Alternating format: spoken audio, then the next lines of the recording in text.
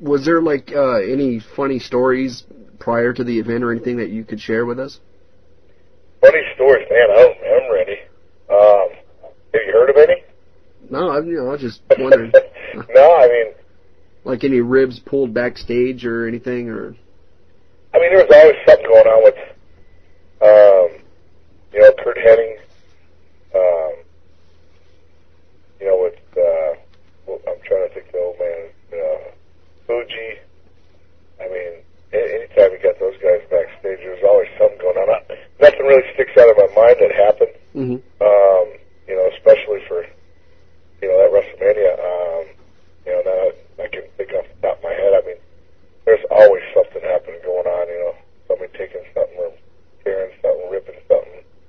Always something going on, Bubba. Entertainment in and out of the ring, stage, backstage, everywhere, non-stop. uh, it, it sounds, sounds like fun. Yeah, it was. It was a good time. I mean,